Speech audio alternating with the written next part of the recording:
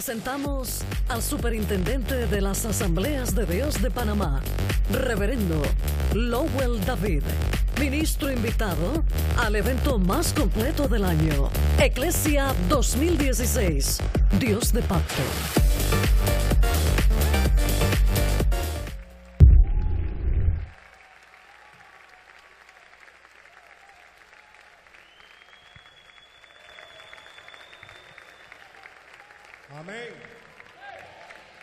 Gloria a Dios. Qué bueno.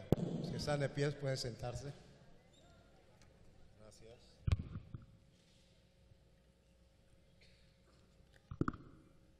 ¿Cuántos saben que Él es bueno? Bendito sea el Señor. Qué bueno es estar aquí con el pueblo la gente que aman a Dios con todas las fuerzas de sus corazones. Aleluya. El Dios de pacto. ¿Qué tema? ¿Qué tema, señores? Y es nuestra responsabilidad como hijos del reino, documentarnos con el tema sobre el Dios de pacto.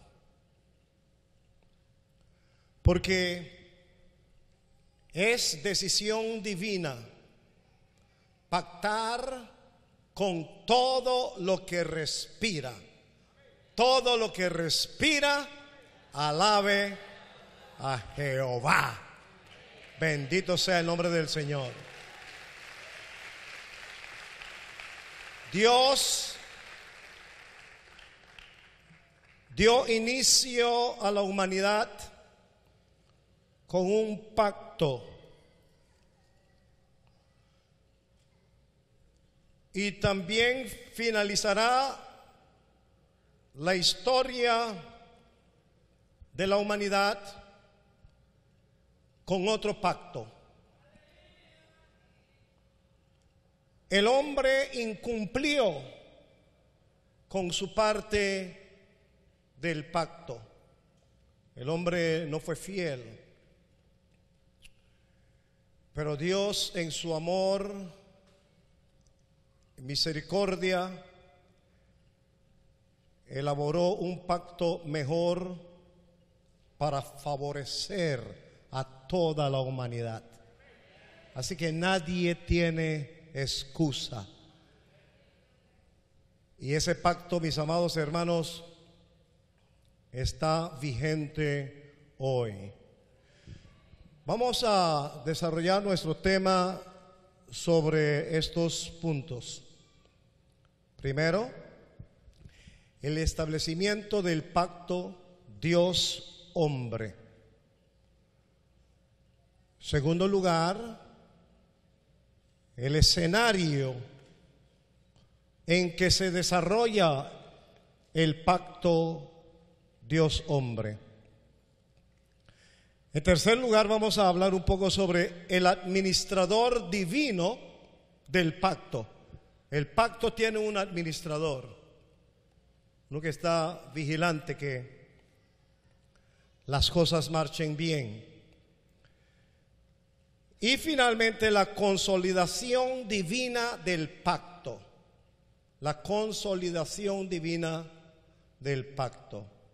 Ahora, yo personalmente lo veo como una honra, un privilegio que Dios nos haya tomado en cuenta, el Dios Todopoderoso para hacer un pacto con nosotros. Y esto hay que entenderlo porque el que está en honra y no entiende, dice la Biblia, que es como la bestia que perece. Yo necesito una palabra de oración con todos ustedes, amados. Así que les pido una vez más un minuto de pies. Y levante esa mano y dígale al Señor, oh Dios, abra mi entendimiento, te lo pido Abra mi entendimiento, pero dígaselo, porque es deseo de mi corazón entender las escrituras. Que tu palabra alcance los objetivos por el cual tú las envías a mi vida, a mi corazón. Y que todo sea, oh Rey, para la honra y la gloria de tu nombre. Gracias por tu presencia. Gracias por tu espíritu. Gracias, oh Rey, por todo lo que tú haces y todo lo que tú harás. Otra vez diga, oh Dios, abra mi entendimiento para que comprenda las escrituras. Pueden sentarse, amados.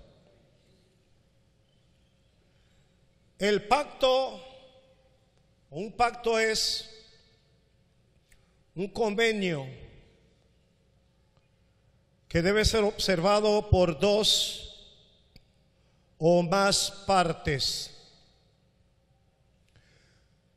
Dios establece su pacto con Adán al decirle, de todo árbol del huerto podrás comer. Génesis 2.16.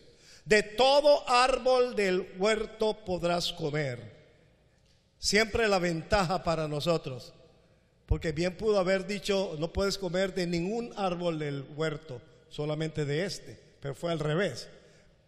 Puedes comer de todos mas del árbol de la ciencia del bien y del mal no comerás.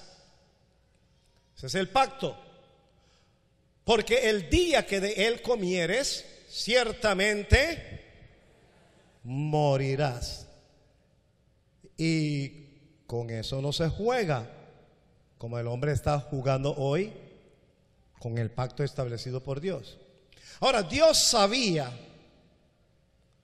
que Adán no cumpliría su parte del pacto. Entonces Dios tenía preparado un segundo Adán. Había un segundo Adán. A Dios nadie lo sorprende. Ya él sabía, formar un pacto con Adán, pero yo sé que Adán no podrá cumplir. Y el apóstol en Romanos capítulo 5, el versículo 12, nos habla de este segundo Adán y dice, por tanto como el pecado entró en el mundo por un hombre y por el pecado la muerte, así la muerte pasó a todos los hombres por cuanto todos pecaron. Pues antes de la ley había pecado en el mundo, pero donde no hay ley no se inculpa de pecado. No obstante, reinó la muerte desde Adán hasta Moisés, aun en los que no pecaron a la manera de la transgresión de Adán, el cual es figura del que había de venir. Pero el don no fue como la transgresión porque si la transgresión de aquel uno murió, los muchos, murieron los muchos, abundaron mucho más para los muchos la gracia y el don de Dios por la gracia de un hombre Jesucristo. Dígalo conmigo, que viva Jesucristo. Él es nuestro campeón. Y como el don no sucede como en el caso de aquel uno que pecó, porque ciertamente el juicio vino a causa de uno solo, un solo pecado, más la condenación eh, para la condenación, pero el don vino a causa de muchas transgresiones para justificación. Pues si por la transgresión de uno solo reinó la muerte, mucho más reinará en vida por uno solo, Jesucristo, los que reciben la abundancia de la gracia y del don de la justicia. Así que como por la transgresión de uno vino la condenación a todos los hombres, de la manera, de la misma manera, por la justicia de uno vino a todos los hombres la justificación de vida. Porque así como por la desobediencia de un hombre los muchos fueron constituidos pecadores, así también por la obediencia de uno los muchos serán constituidos justos. Pero la ley se introdujo para que el pecado abundase, mas cuando el pecado abundó, aleluya, la Biblia dice, la gracia sobreabundó para que así como el pecado reinó para muerte, así también la gracia reine para la justicia por la vida eterna mediante Jesucristo, Señor nuestro. Entonces entendamos esto. Para lograr el cumplimiento del pacto Dios-hombre, Dios tuvo que hacerse hombre. De otra manera nunca se hubiera cumplido. Y la Biblia dice, el verbo se hizo carne. Yo no sé hasta dónde nosotros entendemos estas cosas. Porque yo veo que hay creyentes que se desalientan. Y hay creyentes que vuelven hacia atrás. Pero cuando uno entiende este nuevo pacto, aleluya, siempre habrá una nota de gratitud en el corazón. Porque el Señor Dios Todopoderoso, en la condición de hombre, también se convirtió en el Cordero de Dios. No había otro Cordero. Y hoy, la única forma que tiene el hombre para cumplir con el pacto de Dios es con Jesucristo en su corazón. Aleluya, con Cristo viviendo en el corazón. Porque la palabra dice en Colosenses 1:27, es Cristo en vosotros la esperanza de gloria. Bendito sea el nombre del Señor. Por cuestión de tiempo no voy a leer todos los textos que tengo aquí, pero usted lo puede ver en Isaías capítulo 53, cómo habla acerca de el verbo hacerse carne, cordero de Dios hasta la muerte y muerte de cruz. Que Dios bendiga a nuestro Salvador. Aleluyas. Ahora, hay un escenario en donde se desarrolla este pacto. Este pacto no se desarrolla en cualquier escenario. Hay un solo escenario, de acuerdo a las sagradas escrituras, en donde se desarrolla este pacto nuevo que Dios ha establecido para el hombre. El Señor estableció su iglesia, aleluya, para desarrollar el pacto en el mundo. Y Él fue enfático al decir, edificaré mi iglesia. Mi iglesia es la que yo edificaré. Y es en la iglesia del Señor donde se desarrolla y se cumple el pacto de Dios con el hombre. No hay manera de que el hombre entre en pacto con Dios fuera de la iglesia establecido por nuestro Señor Jesucristo. La iglesia del Señor es columna y baluarte de la verdad. Ella es así. Ella es cuerpo de Cristo. Ella es Cordero de Dios.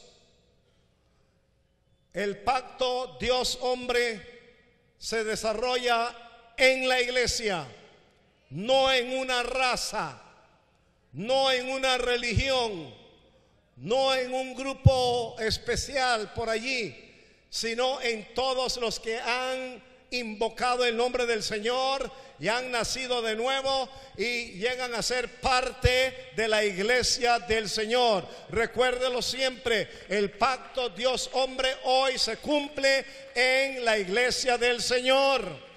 Diga, yo soy de la iglesia del Señor, pertenezco a la iglesia del Señor. Y la Biblia cuando habla de la iglesia, Cristo dice que es la iglesia que Él ganó con su propia sangre. Bendito sea el nombre del Señor. Y a mí me fascina esto, la iglesia del Señor. Por eso debemos vivir para la iglesia, vivir en la iglesia. La iglesia no es un grupito que anda por ahí y uno puede optar por ser de ella o no, por aceptarla o rechazarla. Es el único ente existente en que Dios cumple su pacto con la humanidad. Bendito sea el nombre del Señor. Y todos aquellos que dicen, no, Dios está en todas partes y no están diciendo mal, yo puedo tener a Dios en mi casa donde yo estoy. Yo no necesito estar en la iglesia. Yo sí, Señor, tú necesitas ser de la iglesia porque el pacto actual de Dios se cumple en la vida del hombre en su iglesia, columna y baluarte de la verdad. Pero este pacto, mis amados hermanos, este escenario para el desarrollo de este pacto tiene un administrador tiene un administrador. Y es evidente que el administrador divino del pacto es el Espíritu Santo de Dios. No es cualquiera. Mire que Dios tiene todo bien programado. Es el Espíritu Santo de Dios.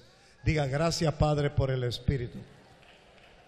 Razón por la cual el Señor fue muy enfático en decirle a los apóstoles, a los discípulos, antes de partir de esta tierra, que tenían que buscar la llenura del Espíritu de Dios. Tenían que llenarse del Espíritu Santo.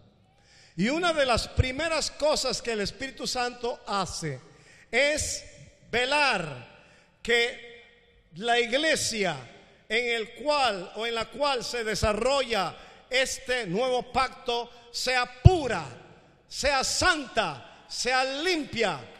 Es indispensable, el, el, Espíritu Santo vela por eso. Él busca la manera que esa iglesia tenga la verdad y nada más que la verdad, solamente la verdad que la pone en libertad. Bendito sea el nombre del Señor, porque Él es el Espíritu Santo y Él es el Espíritu de verdad. Así que todos dependemos del Espíritu de Dios. Cada vez, antes se veía esto, ya no, que una persona se convierte al Señor, hay que animarla hay que procurar que esa persona se llene del Espíritu Santo. Es penoso decirlo, pero hoy, hoy en día encontramos miles de creyentes, miles de creyentes, de meses, de años, que no han hecho ni siquiera la intención de llenarse del Espíritu Santo. Ahora, un momento, un momento. ¿Quiénes son los culpables? Nosotros que ya tenemos el Espíritu Santo. Que no los alentamos, no les hacemos saber la importancia de llenarse del Espíritu Santo.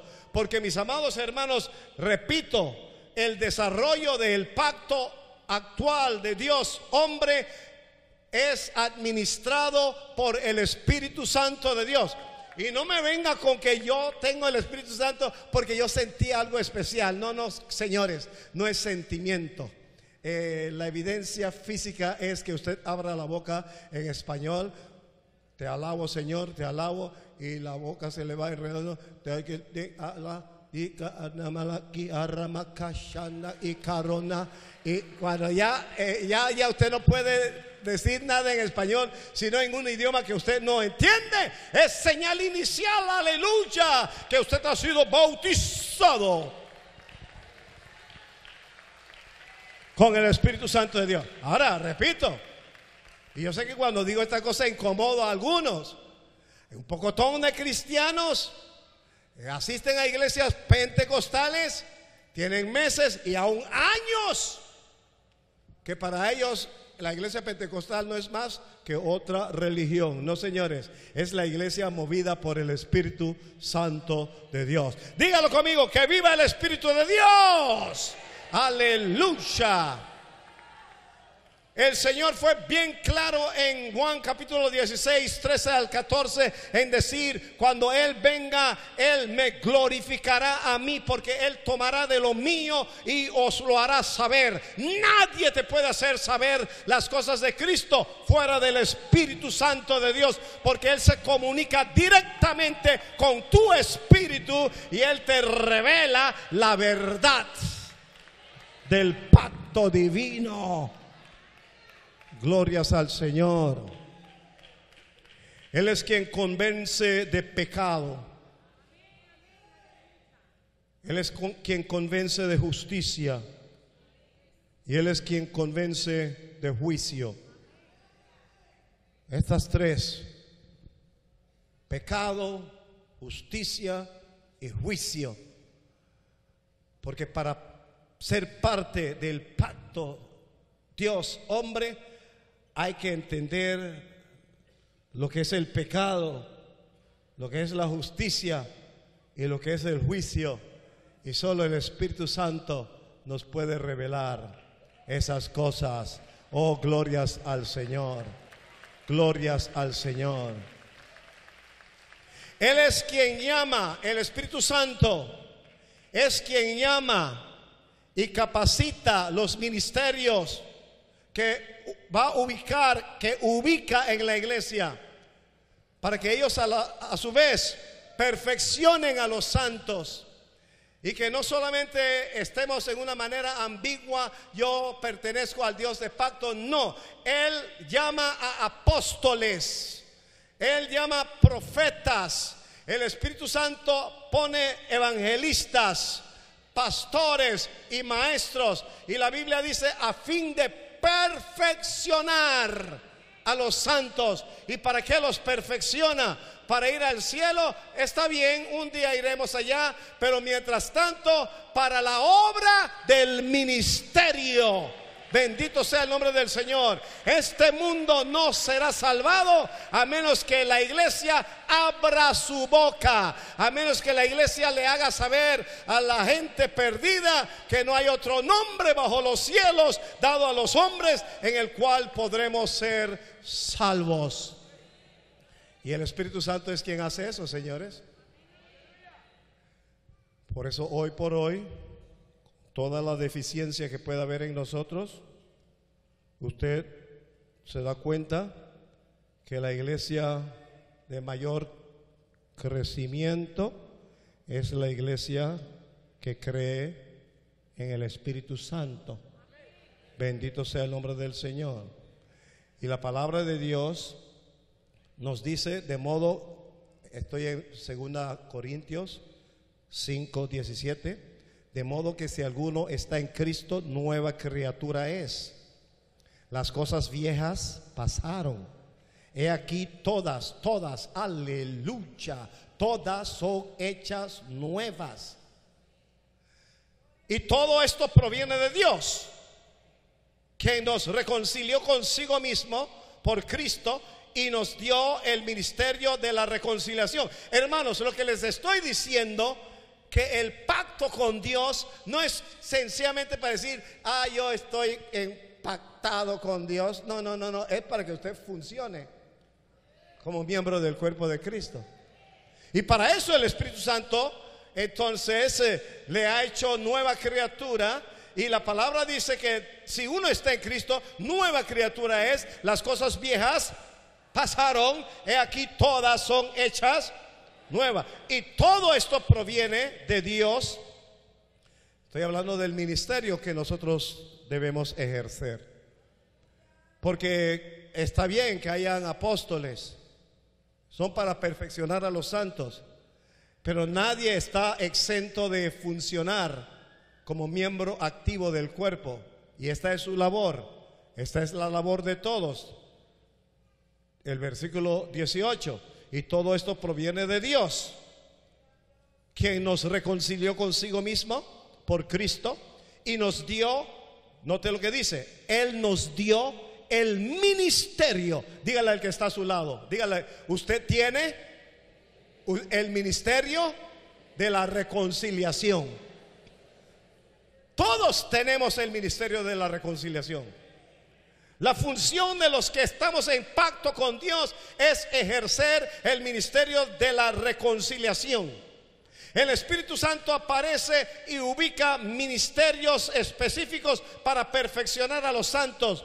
¿Con qué finalidad? Para que ejerzan bien el ministerio de la reconciliación. ¿Y cuál es el ministerio de la reconciliación? Aquí el versículo 19 en capítulo 5 de 2 Corintios dice que Dios estaba en Cristo reconciliando consigo al mundo, no tomándoles en cuenta a los hombres sus pecados.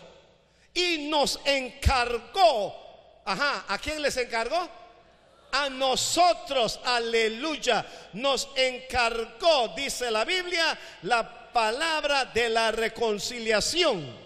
Así que somos, ¿qué somos? ¿Qué somos? No somos creyentes problemáticos, no señores, somos embajadores en nombre de Cristo, como si Dios rogase por medio de nosotros. Os rogamos en nombre de Cristo, reconciliaos con Dios. Si todos los cristianos hiciéramos esto, no habría suficientes templos en este país para contener a las multitudes que se convertirían al Señor. Pero lo que pasa es que nos hemos vuelto rutinarios, religiosos y no nos hemos percatado que el pacto está exigiendo funcionar como reconciliadores hombre Dios para la honra y la gloria de Jehová de los ejércitos. Oh, glorias al Señor, glorias al Señor. Bendito sea el nombre de Dios. Y yo sé que hay hermanos que lo practican. Lo practican de manera sistemática en casa todos los que están allí saben que él, ella es de Cristo. Ah, pero me van a vacilar. Que vacilen, que critiquen, que insulten, que usted está cumpliendo su ministerio. No piense que tener un pacto es, ser pasivo, tener un pacto es ser activo. Y todos los que tenemos el pacto con Dios tenemos que ser activos en el ministerio de la reconciliación. ¿Y qué es el ministerio de la reconciliación? Como que Dios rogase por medio de nosotros, reconciliaos con Dios. Hay algo que a mí en lo personal, en estos últimos tiempos, me inquieta mucho. Y es el hecho de que hay un infierno. Hay muchos que no, ni les importa que hay un infierno. La verdad es que ni creen que hay un infierno. Pero hay un infierno, amados hermanos.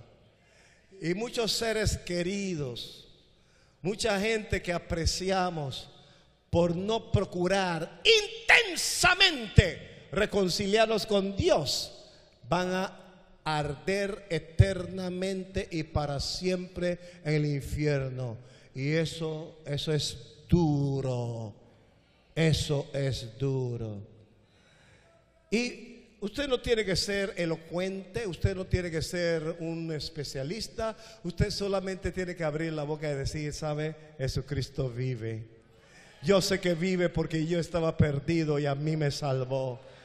Y yo quiero que usted sepa que Él no hace acepción de personas. Yo quiero que sepa, así como Él me perdonó, así como Él me salvó, Él te perdonará y Él te salvará. Eso es lo que se llama reconciliarse con Dios. Nos dio somos embajadores, dice el apóstol Pablo. Somos embajadores, versículo 20. Así que somos embajadores en nombre de Cristo, como que Dios rogase por medio de nosotros. Os rogamos en nombre de Cristo, reconciliaos con Dios. Así que al que no conoció pecado, por nosotros lo hizo pecado para que nosotros fuésemos hechos justicia de Dios en él. Esa es nuestra función. Esa es nuestra tarea dentro del nuevo pacto. El nuevo pacto es salvarnos, mantenernos en la fe, en la gracia. Y mire que Dios es, a mí me fascina cómo es mi Dios. Porque Dios sabía que a pesar de todas las ventajas que tiene este pacto, donde el apóstol dice, óyeme, la verdad del asunto es que nosotros somos más que vencedores. Y Dios sabía que a pesar de todas las gabelas y todas las ventajas, de cuando en cuando íbamos a patinar, íbamos a tropezar. Pero el Cristo resucitado, aleluya, salió con dos, dos ventajas eh, extraordinarias para nosotros. Uno se llama la misericordia. Ah, nuestro Salvador es misericordioso. Si no fuera misericordioso, ninguno de nosotros estuviéramos aquí. ¿Y qué es la misericordia? De acuerdo al salmista en su capítulo 103, 8 en adelante, la misericordia es que Dios no nos paga conforme a nuestros hechos, sino que Él en su misericordia, aleluya, hace alejar de nosotros todas aquellas cosas perversas y malas. Diga, gracias por tu misericordia, Señor. ¿Y cuántas veces no patinamos? ¿Cuántas veces no fallamos? ¿Cuántas veces no tropezamos? Y hay algunos, el diablo engaña a más de cuatro y le dice, mire, tú no seas tan hipócrita, mira, tú di que cristiano, mira, mira, mira el pecado que tú has cometido. Dígale al diablo si he cometido un pecado, pero quiero que tú sepas, diablito, que este nuevo pacto tiene algo que se llama misericordia. Aleluya. Y la misericordia me pone sobre carriles una vez más. Y es borrón y cuenta nueva. Y sigo adelante. Pero también nuestro campeón de este nuevo pacto llamado Jesucristo también trajo al pacto algo más. Y esto se llama gracia.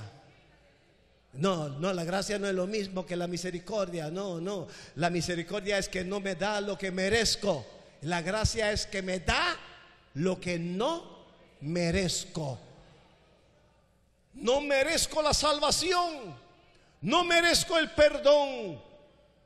No merezco la atención divina. Pero Dios bendito sea su nombre. Aleluya. Me da gracia. Por gracia sois salvos. Por medio de la fe, dice la Biblia. Y esto no es de vosotros, pues es don de Dios. No es por obras. Para que nadie, nadie, nadie se gloríe. Oh, gloria a Dios. A mí me fascina este pacto de Dios. Porque este no es un pacto pasivo, donde yo estoy ahí sentado esperando que algo suceda. Este pacto me pone en movimiento. Este pacto me pone activo. Este pacto me dice, tú eres parte participante con Dios en el programa redentor. No solamente eres salvo, sino que te usa para que otros también se salven. Oh, glorias al Señor. Entonces vale la pena. Pero mis amados hermanos, yo quiero que ustedes capten esto. Yo lo llamo la consolidación divina del pacto. Por ser Dios eterno y el hombre temporal, como que hay un problema allí. ¿Cómo puede existir un pacto entre un ser eterno y un ser sometido al espacio y al tiempo? Bueno, en el principio Dios tenía su plan, pero entró la muerte y la muerte entonces interrumpió ese pacto. Y Dios dice, este pacto ha sido quebrantado, no va a funcionar. Así que Dios se hizo hombre para que se cumpliera el pacto. Porque desde antes de la fundación del mundo, desde antes eh, de los tiempos, Dios tenía un programa eterno programado para la honra y la gloria de su nombre y para todas sus criaturas. Entonces, el Dios eterno, nuestro Padre celestial, tiene que consolidar el pacto. ¿Qué está diciendo, pastor? Consolidar el pacto. Déme explicar esto. Dios tiene que integrar lo que es el programa temporal con el programa eterno. Porque Él es eterno. Él es eterno. Y Dios no muere. Y ahora Cristo en el corazón, en aquel que ha recibido a Cristo en el corazón, tampoco va a morir tampoco va a morir. Entonces el pacto logra alinearse. Dios, hombre, aleluya. ¿Y cuándo se va a consolidar el pacto para qué se va a consolidar? ¿Por qué se va a consolidar? Para que la eternidad absorba el tiempo el tiempo se va a integrar en la eternidad. ¿Y sabe cuándo va a suceder eso, señores? Aleluya. Será todo un espectáculo. Todo un espectáculo. La Biblia dice que sonará la trompeta. Aleluya. Sonará la trompeta. Tú puedes estar enfermo aquí ahora y puedes tener sentencia de muerte sobre tu cabeza, que Dios reprenda al diablo. Algún día de demorar el Señor, todos vamos a patear el balde y vamos a ir para el otro lado, pero téngalo por seguro, sonará la trompeta. ¿Por qué sonará la trompeta? Por varias razones. Porque Dios es fiel a su pacto, aleluya. Y Dios dice, este me recibió a mí en el corazón, yo vivo en su corazón, él ya hay una sentencia sobre la humanidad, el hombre tiene que morir, pero no importa que muera, yo lo voy a resucitar. Yo lo voy a resucitar, aleluya. Será todo un espectáculo. Porque créanme, mis amados hermanos, los ángeles no han visto cosas semejantes. El mundo, la creación no ha visto cosas semejantes. Dice la Biblia que los muertos en Cristo resucitarán primero. No importa que tengan 500 años de haberse muerto o mil años de haberse muerto o que se murieron ayer, resucitarán. Dice la Biblia que resucitarán incorruptibles. Porque Dios va a integrar la eternidad con el tiempo. El pacto de Dios va a ser perpetuo. Bendito sea el nombre del Señor. ¿Y qué va a pasar con nosotros? No se preocupe porque usted es feo. Créame que cuando viene la transformación, hasta los ángeles lo van a envidiar lo van a envidiar, aleluya. Porque nosotros los que vivimos seremos transformados e iremos al encuentro con el Señor. Y cuando vamos, vamos a gritar, valió la pena vivir el pacto, valió la pena vivir según el pacto de la gracia de Dios. E iremos al encuentro de nuestro Señor. Y mis amados hermanos, la Biblia habla de esto, de esto casi no se habla ya en las congregaciones. Pero vamos, una de las primeras cosas, dice la Biblia que Dios enjugará toda lágrima de nuestros ojos. Dios tiene un pañuelo grandote, lo va a sacar y va, eh, y va toda lágrima, fuera la tristeza, fuera el dolor, fuera la ruina, fuera todas aquellas cosas. Y usted me pregunta si vale la pena vivir el pacto hoy. Yo le digo, sí, señores, vale la pena. Porque ¿qué son 50, 80, 100 más o menos años frente a la eternidad de gloria? De gloria. Y bendito sea el nombre del Señor. Después el Señor, vamos a ser juzgados. Los cristianos vamos a ser juzgados. Pero no para condenación una vez que usted tiene la sangre de Cristo que le cubre, usted es salvo para la eternidad. Así que no será un juicio para condenación, será un juicio para recibir su recompensa. Ciertamente cuando usted da, todos lo hemos probado, usted da, usted ofrenda, Dios lo bendice aquí. Claro que nos bendice aquí. Dad y se os dará, dice la palabra del Señor. Si usted es generoso, asimismo la mano de Dios es generosa para con usted. Pero créame que esa no es su recompensa. Todo, todo, todo cuanto hayas hecho, aleluya. En el reino de los cielos, desde que tiene a Cristo en el corazón, usted va a ser juzgado no para ser condenado, ya es la cuarta vez que lo digo, sino para recibir sus recompensas. Y vamos a ser recompensados. Y créame que vale la pena buscar mucha recompensa porque se trata de eternidad, señores. Se trata de eternidad. Vamos a estar para siempre y para siempre. Y cuando yo entiendo esto, que este pacto de Dios va a absorber el espacio, el tiempo, porque Dios reinará para siempre con su gente.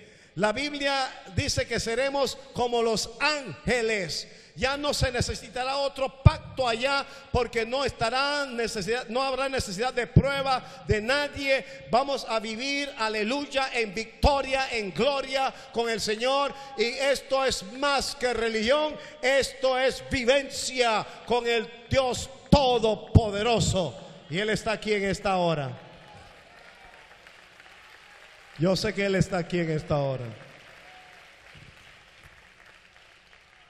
Y yo quiero aprovechar unos minutitos que nos quedan para que podamos hacer algunas oraciones. Jesucristo venció la muerte.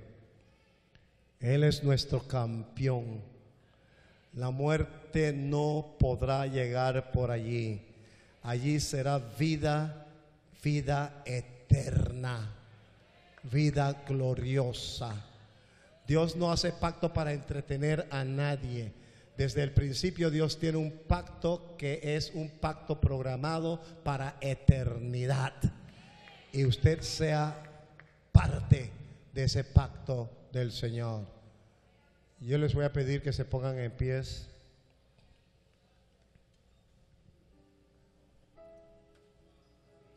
Yo quiero hacer unas dos o tres oraciones. Porque les dije al principio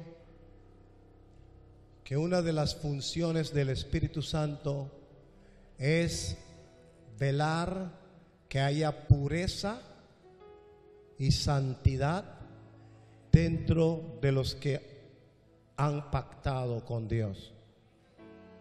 Él logra eso por, con diversos medios. Él logra eso cuando aceptamos a Cristo, la sangre de Cristo nos lava de todo pecado. Pero en la medida que vamos caminando, ahí está la palabra de Dios. Y para eso están los apóstoles, los profetas, los evangelistas, los pastores, los maestros. Dice que es para perfeccionar a los santos. Y el Espíritu Santo, a través de la palabra, bendito sea el nombre del Señor, no solamente nos va perfeccionando, sino que nos va equipando con la verdad, la verdad de Dios.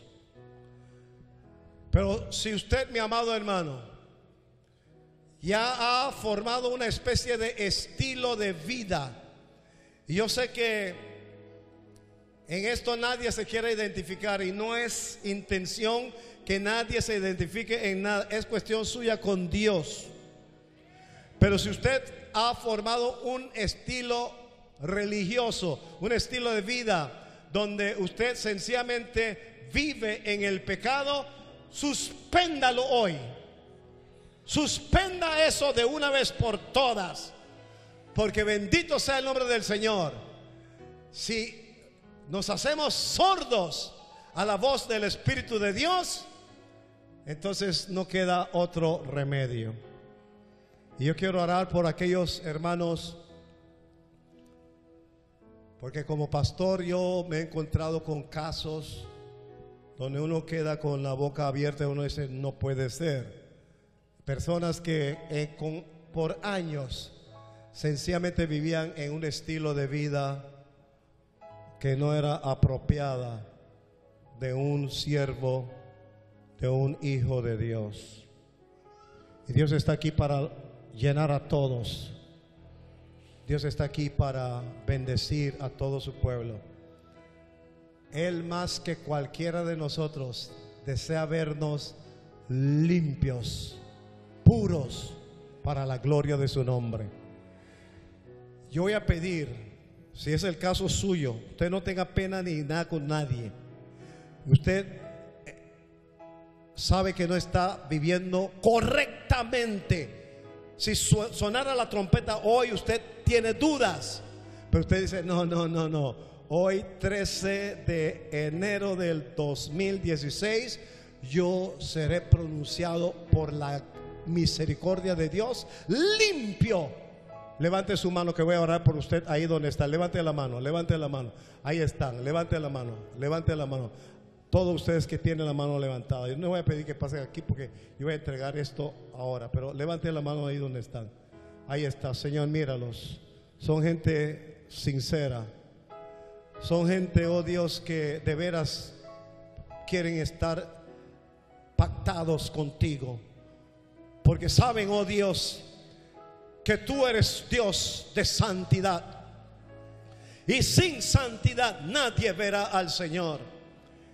Y si el Espíritu Santo no tiene la fuerza en nosotros para redarguirnos, para hacernos reflexionar y aún frenar nuestra manera de ser, Señor, ten piedad de nosotros. Pero en esta hora yo pido que tú toques a todos y cada uno de tus hijos.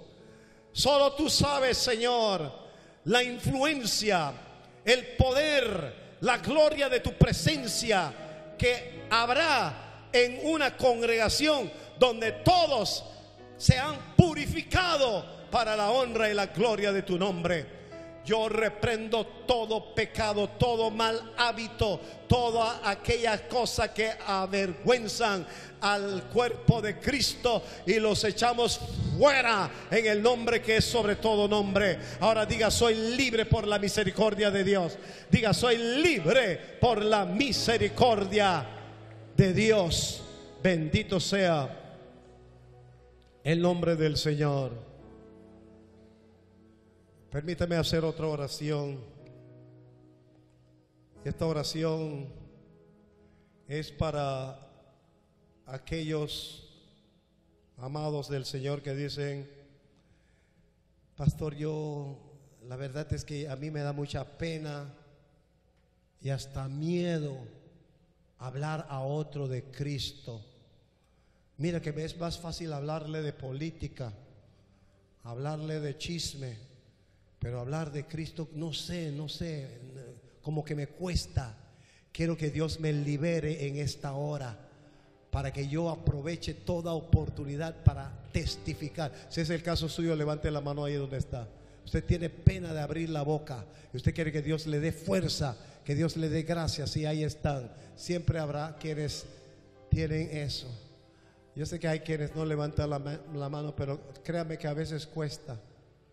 A veces es más fácil hablar de el que se fugó, el que no dio, el que hizo, que el Cristo que viene para su pueblo. Pero todos ustedes, Señor, ahí están. Es decir, ellos están diciendo en esta hora, oh Rey, que quieren ser fieles embajadores de Cristo, como si Dios rogase por medio de nosotros. Os rogamos en nombre del Señor, reconciliaos con Dios. Denle sabiduría, denos sabiduría a todos nosotros, oh Dios. Aún aquellos que no levantaron la mano indicando que necesitan esta fuerza, dele más fuerza todavía para que todos abramos la boca y que todos confesemos que no hay otro nombre bajo los cielos dado a los hombres en el cual hay salvación. Gracias Señor. Pon palabra de sabiduría, pon palabra de gracia en cada labio para la honra y la gloria de tu nombre. Y todo el pueblo de Dios dice, amén. Glorias al Señor. Aleluya. Aleluya. Aleluya. Bendito sea el Señor. Ahora eso es algo que todos queremos. Todos queremos. Hace un momento les dije que hay algo que me inquieta y es el hecho de la existencia de un infierno. Y estoy orando por mis familiares más que nunca. Tengo familiares en los Estados Unidos, aquí en Panamá, y oro por ellos por su nombre. pido al Señor que los salve. Todos los que quieren que Dios le dé ese deseo de ver a sus familiares salvados, integrarse a este pacto de la salvación. Y usted quiere que Dios le dé la fuerza para que de manera sistemática usted lo haga, levante su mano. Levante su mano. Ah, esos somos todos. Todos tenemos seres queridos. Y les anda la bashanda y cantó irria la basanda. Ahí están, Padre Santo. Algunos están orando por sus padres. Algunos están orando por mamá y por papá. Otros están orando, oh Dios, por hijos. Muchos oran por sus hijos. Muchos oran por sus hermanos, por otros parientes, otros familiares. Oh Señor, las iglesias, los templos se harán pequeños, muy pequeños, aun cuando llegaran a tener cultos durante todo el día, serán muy pequeños para contener las multitudes. Dice que a la bachanda, toque, toque, toque, Padre Santo. Todos queremos ver salvados a nuestros familiares, a nuestras amistades, Santo Dios, nuestros parientes, para la honra y la gloria de tu nombre. Salve a papá, salve a mamá, salve a los hijos, salve a los tíos, a los abuelos, a los primos, oh Santo Dios, sálvalos para la honra y la gloria de tu nombre. Aleluya, aleluya, aleluya. Glorias al Señor. Bendito sea el Señor. Para terminar, hermano, quiero recordarles esto. Mi mensaje ha sido muy elemental, sencillo, sencillo, pero hay que entender las cosas. Hay que entender claramente que Cristo, Dios hecho hombre, para que nosotros pudiéramos cumplir el pacto Dios-hombre. El Espíritu Santo, el que administra esto dentro de la iglesia. No me venga con el cuento de que no, Dios está en toda parte, yo no necesito ir a la iglesia. Usted necesita ir a la iglesia. Es donde hay dos o tres congregados en su nombre, donde Él está en medio de ellos. Si usted no es miembro de una iglesia, entonces usted hágase miembro de la iglesia. Bendito sea el nombre del Señor. Para que usted sea una persona identificada con el cuerpo que ha pactado con el Dios Todopoderoso. Y Él está aquí en esta hora. Y a mí me fascina, me fascina este tema. Y yo tengo algunas introducciones ahí, por cuestión de tiempo no lo mencioné, pero yo ahí en mi introducción dije, todo cristiano, todo nacido de nuevo, tiene que documentarse con el pacto de Dios para la honra y la gloria del Señor. Y los que somos de aquí, de esta congregación, sabemos que va a ser durante todo el año Dios de pacto. Que Dios les bendiga.